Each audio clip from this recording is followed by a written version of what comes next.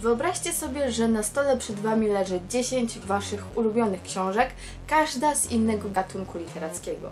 I teraz bierzemy te wszystkie książki, wrzucamy do jednego wora, dodajemy kilka nowych składników, mieszamy, mieszamy, mieszamy, mieszamy i w ten sposób powstaje wieża. Cześć kochani, z tej strony Kat, witajcie ponownie w mieście atramentowych słów. Dzisiaj kolejna recenzja, tym razem jest to naprawdę bardzo ważna recenzja dla mnie, ponieważ książka, o której dzisiaj będę mówić jest objęta moim patronatem, a więc znajdziecie moje logo na czwartej stronie tej książki i tu serdecznie dziękuję wydawnictwu Papierowy Księżyc za to, że udostępniło mi tę książkę przedpremierowo i zgodziło się, bym objęła ją patronatem.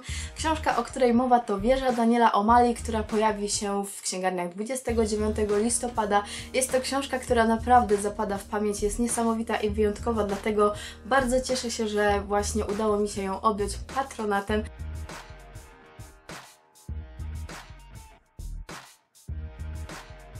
Fanny Thomas budzi się w pewnym parku w Londynie, otoczona ciałami w lateksowych rękawiczkach. Kompletnie nie wie, co się dzieje, nie wie, jak tu się znalazła. Na domiar złego kompletnie straciła pamięć i nie wie, kim jest. Żeby tego było mało, w kieszeni płaszcza znajduje list i tutaj zaczyna się nasza historia, ponieważ ten list napisała dawna właścicielka ciała, w którym właśnie znajduje się Mifani. Przed niej Mifani wymazano pamięć, a musicie wiedzieć, że była ona dosyć ważną osobistością w pewnej brytyjskiej organizacji Czeki specjalizującej się w wyciszaniu spraw nadprzyrodzonych. Mifani musi odkryć, kto ją zdradził, skrupulatnie punkt po punkcie podążając śladami swojej poprzedniczki, która zostawiła jej naprawdę wiele wskazówek dotyczących tego, kim jest, czym się zajmuje, czym właściwie jest Czeki i jakie porządki tam panują. Mifani Thomas jest ogólnie bardzo dobra w papierkowej robocie, dlatego w agencji Czeki postawiono ją na najwyższym szczeblu i dzięki temu jest właśnie tytułową wieżą. Mifani trafia więc w środek samego piekła i może stracić coś więcej, nie tylko wspomnienia, ale może stracić również życie, ponieważ ktoś na nią czyha, ale nie wiemy dlaczego na nią czyha, nie wiemy co właściwie kieruje tą osobą, dlaczego Mifani stała się ofiarą tej osoby. I w zasadzie to wszystko, co powinniście wiedzieć na początek o tej książce, bo najlepiej wydaje mi się, jeżeli po prostu odkryjecie ją sami.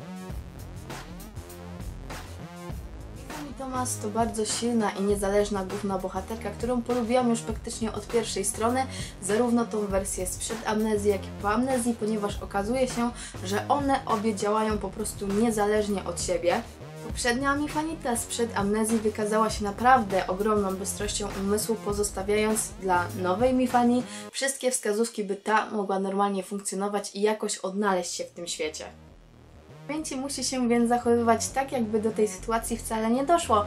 Tak jakby wciskając po prostu ludziom kiedy, że tak naprawdę nic się nie zmieniło prowadzi nas do kolejnego punktu świeżości, który serwuje nam Daniel O'Malley, ponieważ wieża to powieść nietuzinkowa, wyjątkowa i bombowa w tym, co ma nam do serwowania i musicie wiedzieć, że jest to debiut literacki i jak dla mnie to po prostu ogromne szapoba, między innymi dlatego, że autor naprawdę bardzo dużo musiał pracować nad tym, jak postaci w jego książce będą funkcjonować. Ponieważ nie wiem, czy wiecie, ale agencja Czeki, która jest właśnie stworzona do takich spraw nadprzyrodzonych i niezwykłych funkcjonuje mniej więcej tak jak figury szachowe właśnie gra, gdy gramy w szachy. Na dodatek nasi bohaterowie posiadają też nadprzyrodzone zdolności, więc czy to nie brzmi ciekawie? W tej książce także bardzo fajną rolę gra narracja, ponieważ mamy tak jakby dwa rodzaje narracji i dwa punkty widzenia. Pierwsze światła, te główne, są skierowane właśnie na tą Mifani Thomas, która straciła pamięć. Więc tak jakby w trzecioosobowej formie większość tekstu jest właśnie ukazana jej oczami, tak jakby. No tylko, że w trzecioosobowej formie, nie w pierwszoosobowej formie. A więc y, większość akcji tak naprawdę kręci się wokół niej i to jest po prostu mega, ponieważ ta postać jest genialna w tym, co robi, w ogóle e, w tym, jak udaje tą Thomas i tak dalej. No, musiała się poukładać, musiała się poskładać i, i naprawdę to tylko udowadnia to, że jest silną, niezależną babką, która po prostu tak łatwo nie da się sprzątnąć ze sceny. E, I drugą sprawą jest narracja właśnie tej poprzedniej mi Fanny Thomas. Nie wiem, czy w ogóle nadążacie, ale ona zostawiła swojej następczyni listy. E, I te listy są, no wiadomo, jak to listy prowadzone w pierwszoosobowej formie, skierowane właśnie do Mifani. I w tych listach poprzednia Mifani opowiada właściwie wszystko, czym jest Czeki, e, jak e, funkcjonuje, e, jakie role mają poszczególne figury, poszczególne się stylami i to doskonale widać, jak on się po prostu z tego cieszy i jak ogromną sprawia mu to frajdę.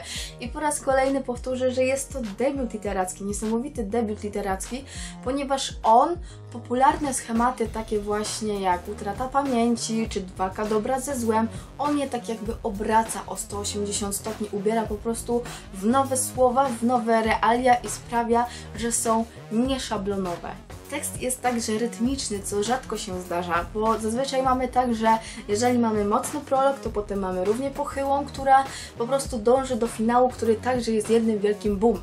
A tutaj mamy zupełnie inaczej, ponieważ początek jest mocny, środek jest mocny i finał jest mocny i one wszystkie po prostu razem się uzupełniają. Akcja cały czas ma jedno tempo i cały czas coś się dzieje, dlatego tę książkę, pomimo tych wszystkich informacji, nowych nazw i w ogóle całej tej historii agencji, naprawdę czyta się jednym tchem po prostu, no, czyta się to tak lekko i tak doskonale, że po prostu, no, nim się obejrzysz, to tak naprawdę e, skończysz tę książkę. Przynajmniej ja tak miałam, że jak zaczęłam ją czytać, to po prostu nie mogłam się od niej oderwać.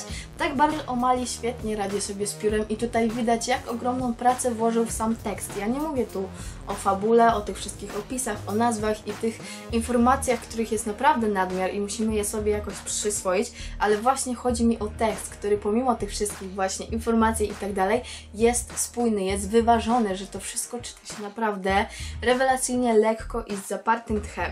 I e, bardzo fajnie, że w roli głównej bohaterki obsadził właśnie kobietę, ponieważ gdyby to był mężczyzna, to klimat już nie byłby taki sam.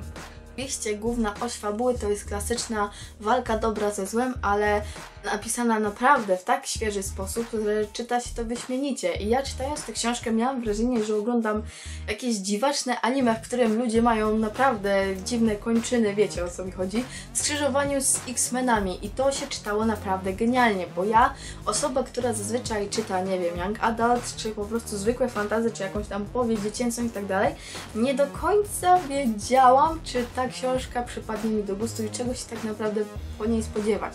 Bo okazuje się, że mamy tutaj naprawdę mieszankę gatunków. Mamy urban fantasy, mamy sci-fi, mamy dramat, mamy komedię, mamy thriller, powieść szpiegowską, czyli wszystko to, e, co po prostu zaserwuje nam rozrywkę na dobrych kilka godzin i gdy zamkniemy tę książkę, to stwierdzamy, że to była zaczepista jazda po prostu na karuzeli i chcemy jeszcze raz. I to też jest fajne, że tu każdy znajdzie coś dla siebie i to jest e, pierwsza książka od bardzo, bardzo dawna na moim kanale, która jest skierowana nie tylko do kobiet, a więc y, też myślę, że panowie, albo raczej głównie panowie, znajdą coś w tej książce dla siebie, bo ja myślę, że Daniel O'Malley to taki nasz troszeczkę Jakub Ćwiek, że bo u Ćwieka też tak jest, że po prostu jest tam wrzucone wszystko y, i tak naprawdę nie wiadomo, co z tego wyjdzie i czego się spodziewać. No i tu jest bardzo, bardzo podobnie.